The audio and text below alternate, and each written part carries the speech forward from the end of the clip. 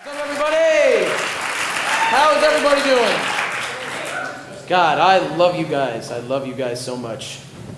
All right, let me talk about my mother. Let me talk about it for a second. My mother hates my friends. My mother hates my friends, and she doesn't even hide it.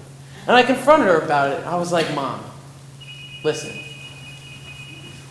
Cell phones and pages off for these folks. Come on, folks. All right, so my mom, she hates my friends. All right, I confronted her about it. I said, Mom, listen. I don't treat your friends the way you treat mine. All right? How would you like it if I said things like, Mrs. Bloom, what are you doing here?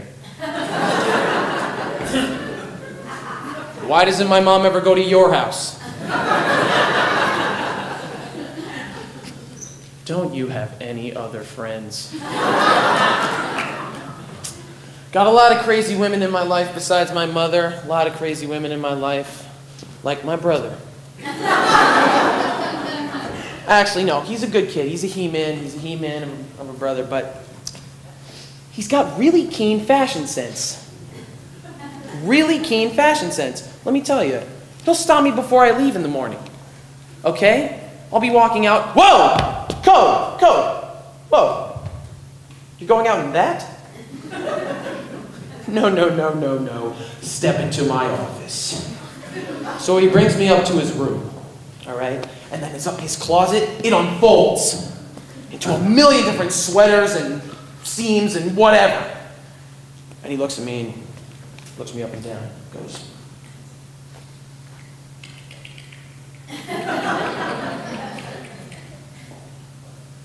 Take it off. Take it all off. Take it all off. Okay, here we go. This shirt, that hat, those shoes, and no pants. Code, I'm telling you, it's all the rage in France. I see London, I see France, Code. exactly, go with it. He's a real He-Man, though, my brother. Real He-Man, you know, just like my dad. My dad, a real He-Man, a man among men. But he cooks. He cooks. But you know, he always likes to, you know, he likes to save himself, his manliness. He'll be like, I'm a rustic cooker. All right? I'm going to make you a sorbet. But it's going to be a chicken and liver sorbet. Because that's what they had on the prairie. And they would be lucky if they ever got it in a sorbet coat. Yeah. So I'm starting to uh, sound like my dad on the phone. People tell me this all the time. They say, Cody, I thought that was your dad on the phone. Wow. And I'll be like, great. Now I can use this to my advantage. Like when the school calls. Am I right? When the school calls, they'll call, they'll call my house. Hello? Oh, yes, is this Peter Hart, son of, or father of Cody Hart? Yes. Yes, it is. Why? What has he done? Um, I wish I could be calling under better circumstances, Mr. Hart, but your son was caught cheating on his math test. Excuse me for a moment. The fun part about this is, is I can get out of trouble and make my dad look like a horrible parent at the same time. Watch how this plays out. Cody! Cody, you get your little butt down here right now! You get your little butt. Hello, you said he, you, he was caught cheating? He was caught cheating? Cody! The cheating! Come down here! And then I play myself. Hey, Dad, what's going on? what's the problem, Dad? You were caught cheating? No, Dad, I wasn't caught cheating! Bah! I caught cheating! Bah! Thank you for calling me. He is going to get a talking to. He is going to get a stern talking to. Thank you so much. Goodbye. I work at a grocery store.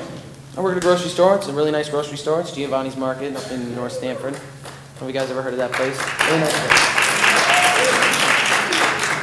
place. It is a really nice place. And uh, I am a cashier slash bagger.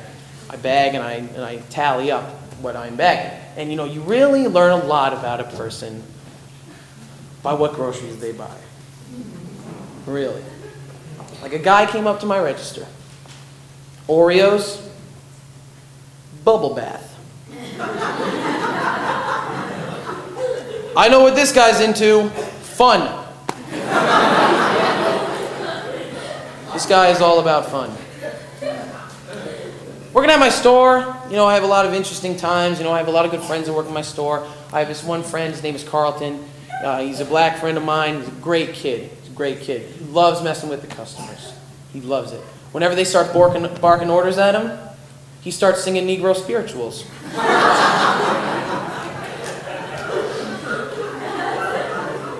Wade in the water. Wade in the water. You want your meat in a separate bag, sir? Indeed, sir. Wade in the water. Doesn't work so well if I do it.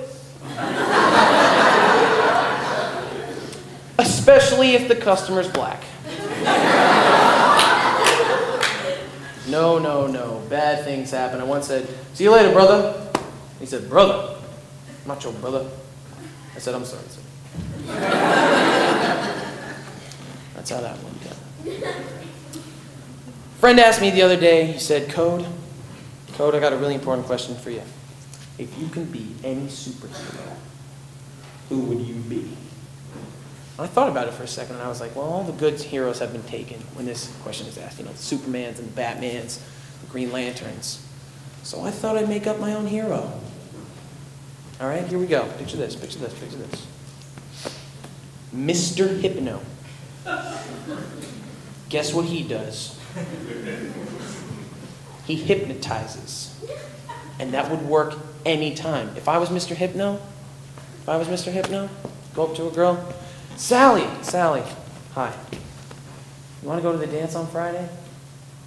Oh, oh, you don't. Okay, all right, sorry. What about now? all right, see you at eight.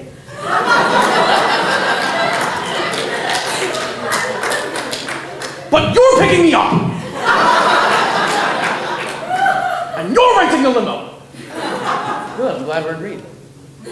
Glad we're agreed. That would work anytime. Mom comes in. Cody, this room is a mess. Look at this. Look at this sty. Look at I can't even move in this place. Look at this sty. Yeah, you're, you're right, Mom. It's messy. It's messy. What about now? you clean it! You missed the spot! Right there!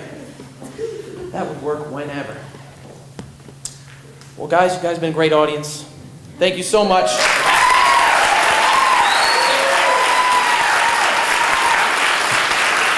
See y'all later.